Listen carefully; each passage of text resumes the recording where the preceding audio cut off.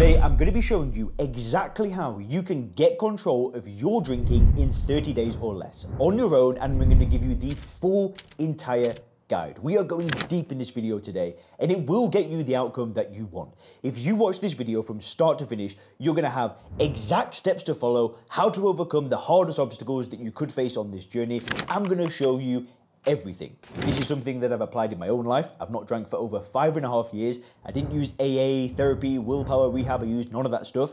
I've made over 600 videos. I've had probably over 10,000 people reach out to me or leave a comment on the videos saying that this channel has changed their life and changed their relationship with alcohol forever. And I've worked with hundreds upon hundreds of people in a coaching program. So the stuff that I'm going to share with you in this video today will work for you as well. Why the heck not? Is it for everybody on the planet? No. But if you're motivated and you're at least willing to see alcohol in a different way and change your perspective and change your worldview, then please watch this video because ooh, it's going to be powerful. We are going deep today. Now, the first thing I want to start off by saying is there's a quote by Abraham Lincoln. He said that if I had six hours to cut down a tree, I'd spend the first four sharpening the saw. In other words, preparation is everything. Preparation before committing to the action is the most important thing. And that's why this video is critical for you. Now, really, when it comes to stopping drinking, there's a totally right way to do it that gets a result, that keeps you happy, that keeps you motivated, and there's a wrong way to do it. So, before I show you how to stop drinking alcohol in 30 days or less, I need to talk about the wrong way of stopping drinking. Because if you can understand the wrong way of doing things, then you won't make those mistakes. Because there is a wrong way, and there's a way that will yeah, you might not drink, but you're going to be miserable. You're going to feel like you're missing out. You're always going to want to be going out and partying, but you're just going to have to resist and stay home and say no to friends. You don't want that life. I don't want that life. Nobody wants that life. So, to, before we get into the exact steps on what to do, let's just wind it back a little bit. When I was about 21 years of age, I didn't finish like I finished high school, but then in England, after high school, you do something called A levels. So it's a bridge between high school and university. And it's a two year thing that you do. And then you go to university. Americans would know university as college. So I didn't do that. But then I wanted to go to university a little bit later in my life. So I had to go and do what's called a foundation degree. So I went to go and study science. And uh, yeah, I went to go and do this foundation degree because I thought I might have wanted to do something like exercise science and gone to study at university. Didn't end up doing that, long story short. But I was living in this place called Preston and I was studying this foundation degree. Now, to support myself, um, you know, I got a job and I got a job in this restaurant and it was a, an Italian restaurant and it had a bar next door to it. So sometimes I'd have to work in the restaurant and be a waiter and do all that stuff. And then sometimes they'd say, Leon, can you work in the bar today? I mean, at this point, I'm like, I'm quite young. I'd already been drinking like a, you know, binge drinking and creating quite a lot of chaos in my life. I'd already tried AA at this point in my life, so I was already, you know, already a little bit out of control. Well, not a little bit, but you know, when I went went to work at this bar, um, you know, this was a uh, I'd never really been in an environment like this. And when you know you're starting work at 10 o'clock and then by 12 o'clock, there's the same faces coming in every day. They sit there, they order this weak alcohol, like this 3.5 or 4% beer. They'll drink 10 beers all day, go home, sleep early, wake up early, and then just go through this cycle every single day. And it, you know, it was it was strange because it, after seeing that and being exposed to that again and again and again, that started to feel very normal. I just started to think, well, that's what men do. You know, we drink 10 pints and, and that's it. Now, there were a cool group of people at this bar, and God bless them. You know, I really hope that they they found peace now, and they've you know, hopefully they're still not doing this. And all I can do is pray for them and, and hope that they can, uh, hopefully that, they change. But you know, they they used to come, and they would drink like you know 10, 12 pints at night. Strong beers as well. I'm talking like 6% beers. And uh, they'd drink like 10, 12 pints. They'd get absolutely smashed. They'd start drinking whiskies. And, and, you know, they were just getting absolutely hammered. And uh, funnily enough, at this point as well, that like I was I was being surrounded by this. They kept buying drinks for the bartender, you know, and I'm behind the bar, and you know, it was all like it's all a bit sad looking back.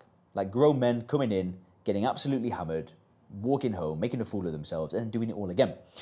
And I even remember when I was I was there, I've been exposed to it this much that oh man, it's, it's, it's cringe to say. It. I hate to say it, but I remember I went home and I bought like a 16.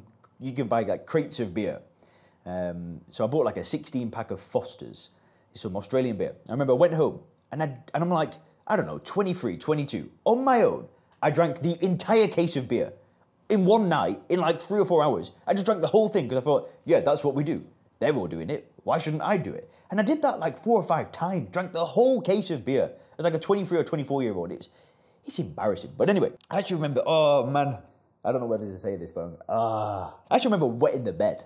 Like I just drink it all and and just oh how embarrassing! I cannot believe I just said that. But anyway, who cares, right? It's in the past now. We've all made mistakes. It doesn't matter. Anyway, one of those individuals, he um he he once came in and he was like, I'm not drinking, right? I'm I'm quitting alcohol. I've I've had enough, uh, and I'm going to take two weeks off. And it was, and I'm like, that's strange. Why do you want to do that? And he's like, you know, I don't really need it. I'm not the kind of guy that, that needs it. I can just take time off when I want, or just reset, give my body a break, and then get back on it. And it was like, it was almost like a coping mechanism. So he didn't really need to question his drinking too much. If he could take two weeks off, then he could continue to lie to himself that his drinking wasn't an issue. And I, to this day, I've, I, you know, it's rare that I meet people that drink as much as they did, right? They were just completely out of control. And they were like, you know, 45, 50 year old grown men.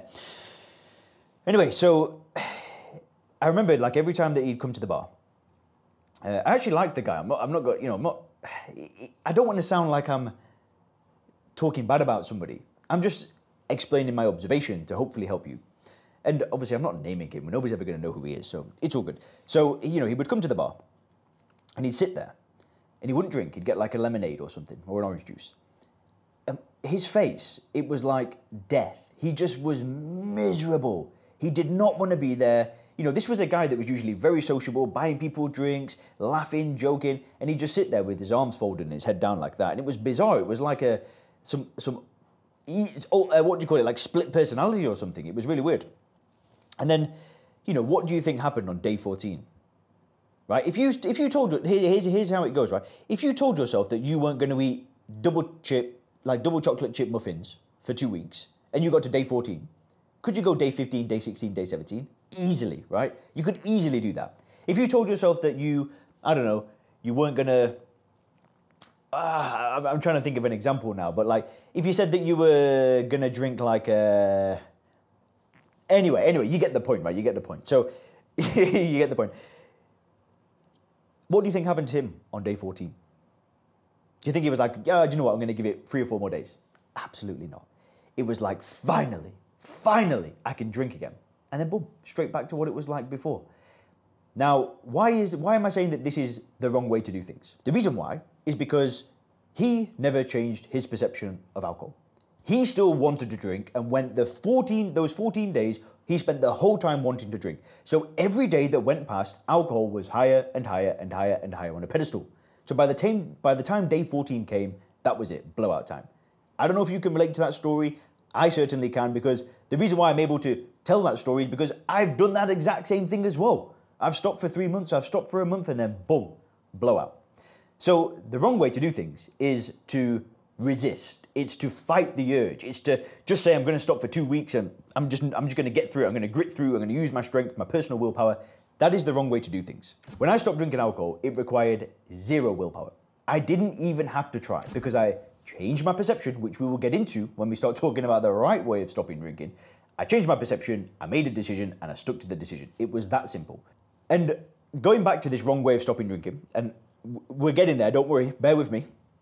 But what that individual did at the bar is he was really relying on pain. The pain he, you know, alcohol was causing him pain, clearly. You know, he was behaving like he was being crazy, he was drinking way too much, he knew what he was doing. It caused him pain, but it wasn't enough. It wasn't enough to get him to change. We need more than just pain. Pain is helpful, pain can get the ball rolling, but it's never enough. If pain was enough for somebody to stop drinking, after your first hangover, you'd never drink again. There needs to be more and it needs to go deeper. You can't just use pain and motivation and willpower to stop drinking. It needs to go to a totally new level, and that's what we're going to start talking about next.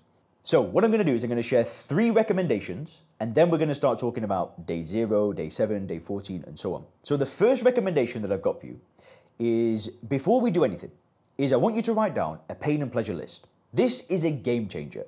What you want to do is think about alcohol. You want to write down a pain list. So you actually want to literally get a pen and paper, pause the video if you've got to. Don't be the person that's like, yeah, I'll do it later. I'll, I'll think about it and then I'll write it down. Get the pen and paper, right? Don't be that person. Write down the word pain at the top and then write down all the pain that alcohol has caused you. For me, it's broken relationships, it's health scares, throwing up blood, it's not living up to my potential. It's wetting the flipping bed. I cannot believe I told you that, but whatever. It, it, you know, it's these stupid things, right? Like all the bad things that alcohol is causing in your life, write them down. Write as many as you can down. Write down 20 bad things about alcohol if you can. You know, for you, maybe it's like you don't have the energy to play with your kids. You're looking in the mirror and you're not happy with the person that's being reflected back. You know, you might have got a bit of a stomach. Write it down and go deep. Maybe for you, you just feel like a loser. Like, I don't know, just, just go as deep as you can. I'm not, I'm not, I'm not here to, to belittle you by any means, but it'll be helpful for you to go as deep as you can. Write down the pain list. The next thing you want to do is write down a pleasure list if you remove alcohol from your life. What great things could happen? I knew for me, it could have meant that I, well, it, it did happen, but at the time when I was, you know, if I was writing this list, I would have wrote things like, I could start an online business, I could travel the world, I could get in the best shape of my life, I could get into a new relationship. Now all these things have manifested because I don't drink anymore, but these are the kind of things you want to start writing about. Write about the pleasurable things that can happen in your life when you remove alcohol from it and come up with as many things as you can. That's the first recommendation. The second recommendation that I've got for you is before embarking on the journey, before saying today is day one, is you want to research. You want to spend time learning about alcohol. I've got 600 videos on this channel. I have a coaching program, I have an online program with a course where we go super deep into things. If you want details on that, just go to soberclear.com or click the link in the description. You can watch other channels, right? My message might not be exactly what you need to hear. You might need to do something else. You might need to go to AA meetings. I don't know what you need. You should know yourself better than I know you. But you want to spend time researching, going deep, and really understanding what alcohol is. When you boil it down to its core, all alcohol is is ethanol. That's it. it. There's nothing else to it. But you need to spend time basically peeling back the layers, breaking it down from first principles, right? Like de almost reconditioning your mind to see alcohol for what it is before you got conditioned to see it as something beneficial. You want to do this before you make the decision to start the 30 day thing, but you want to do it the whole time right? You want to continually educate yourself until it clicks. Because I'm telling you, one day it'll click and it's like you just see alcohol in a different way. That's happened to me. It's happened to thousands of people that watch this channel. It's happened to most of the clients that I've worked with. I'm not saying it happens to everybody, right? But the vast, vast, vast majority of people that I work with, this happens to. You want to spend time researching alcohol. And the third recommendation, before we go into the days, is you want to spend time building that vision. So that pleasure list that you've just written, that's really the start of a foundation. But you know, if you can transport yourself 25 years down the line, or 10 years down the line, I don't know how old you are, if you can transport yourself down the line and start building a vision of what you want your life to look like, you've got something to work towards. You're not just using pain anymore, you're using a prospect of a better future. That's what you want. Think about it. Think about the beautiful home, right? Think about being financially independent, having grandkids running around, playing, you know, transport yourself and build that vision. Spend as much time as you can building a vision to work towards. It will be a total, total game changer. So now let's go into day zero to 28. Let's talk about a 30 day game plan. So before day one, before making the decision, right, you want to do what I said before. You want to spend time researching, watching this channel, maybe buying some books, buying some courses, getting a coach or whatever.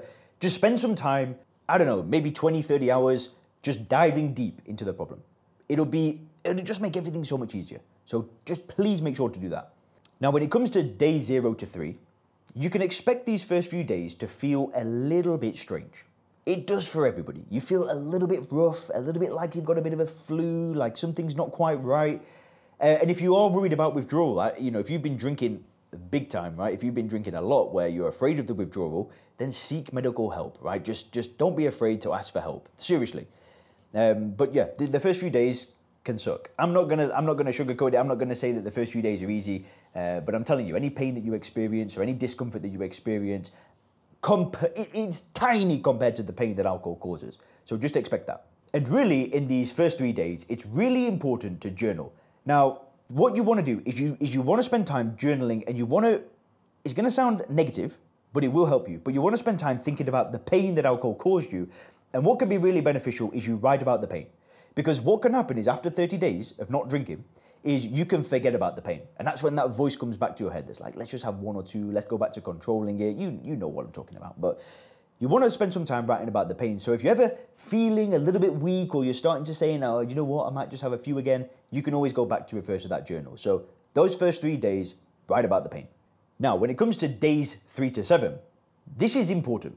Now, you've kind of got two options, right? You could sit around and feel sorry for yourself and hide and change nothing and just like you know, order junk food and watch TV all day and say, well, at least I'm not drinking. But listen, come on, you're better than that. I know you're better than that. You know you're better than that. You don't need to do that. What you want to start doing is as fast as you can, is start implementing positive changes, nutrition changes, getting in healthy, nutritious food again, refueling your body, rebuilding your body. It's been being poisoned for years, so you want to start getting good fuel back in the body. You know, get some workouts in. 20 minutes, go for a walk, get in a run, get a couple of kilometers down, go for a workout, do some CrossFit, do some strength training, whatever. But you just want to get the food in, get the exercise, start getting active again, and do some positive things for yourself. And you might want to start thinking about, you know, sleeping better, trying to optimize your sleep, going to bed at the same time, waking up early. Just really try and spend this time starting to get some positive momentum. That is the most important thing. Now, when it comes to day 7 to 14, you, you really want to just keep stacking these wins. So, one great thing that you can do, and this is something that I've been doing over the past few days, uh, is every night, me and my girlfriend, we're talking to ourselves, what are the wins today?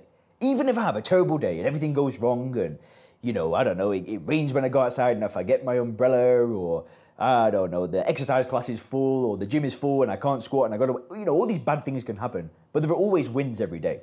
So you want to start stacking these wins and one good habit there is every night you reflect on your day and you talk about the wins and you want to keep stacking these. You want to just stack the wins day seven, day eight, day nine, all the way to day 14. Positive wins, positive wins, positive wins, positive wins, again and again and again. Another great thing you can do at this period is you can get yourself out and about and get around friends and socialize without drinking, but get around alcohol. Because if anything, that strengthens the resolve. And don't forget, also during this day 7 to 14, you want to still be educating yourself on alcohol, but get yourself out there, socialize. And I just want to have a quick caveat there if you have done the work before making the decision to stop drinking and you feel 100% confident about your decision to not drink, you know that you're not going to drink, you've had that full mindset shift, that flick of a switch, you know that it's done, you know that it's in the past, you do not need to spend time researching alcohol. I know I make videos about not drinking, but I don't I don't think about it anymore. You know, the first year I drank, I didn't read anything. I just stopped drinking and then put it behind of me because I knew for sure that alcohol did nothing for me and I made an all-in decision. So I'm not saying that you need to spend time researching alcohol. You do need to before you get into that state of mind. But maybe day seven, you're like, that's it, I'm done. That's okay. All right. Now, day 14 to 21, what can happen at this point is you have just completely normalized to the feeling of not drinking. All the bad things have gone, your energy's feeling better, you're feeling on fire. You've got to be careful here because this is when you can start justifying, well, do you know what? I could just have one or two and still do the 30 days. Don't do it. Think about the pain. Think about the stuff that we were talking about day zero to three, where you were journaling about the bad things that have happened as a result of drinking. Don't forget that. So just don't forget why you're doing this. Keep stacking those wins. Stack, stack, stack. That's all you want to be focused on is stacking wins every single day and keeping alcohol out of your life. Now, when it comes to the final week, day 21 to 28, yeah, sure, you want to keep stacking those wins, but here's what you don't want to do. I promise you, this is going to derail so many people but not you because you're watching this video and I'm going to warn you. What you don't want to do is do what that individual did that I spoke about at the beginning of the video. Well, it's been 14 days, time to have a blowout. Don't get to the end of 30 days and then think, right, I've done 30 days, it's an achievement, I can finally reward myself with a drink. Madness, right? The thing that you stopped doing because it was causing you pain is now a reward. It makes no sense. Well, it does, it does make sense if you see it as drug addiction, but anyway, that's a different story. That's, we won't go there in this video. But do not reward yourself with alcohol after you get to day 30. Keep it going. Because if you've truly changed your perception and you made a decision to stop drinking, that, that thought won't even go into your head. It never goes into my head. The chance of me adding alcohol back into my life, I mean, I swear on my life, you can even test me on this. Offer me $100,000 to drink a pint of beer. Not a chance in hell. Not a chance in hell. I would never do it. And if you don't believe me, offer it to me. You'll see. But this is what I'm saying. Like my mindset is so clear, and I also know that the potential upside of staying a non-drinker for the rest of my life, hundred thousand dollars over the course of a lifetime, is nothing. And I know that if I drink one drink, I'm not I'm not rolling that dice. I'm not even risking it because I know the pain that alcohol's caused me. I've never forgotten what it was like to be a drinker, and neither should you. Anyway, guys, hope that was helpful. If you go to soberclear.com, you can learn more about the program, and if you click the video on the screen now, you can learn some of the early warning signs that alcohol could be killing you.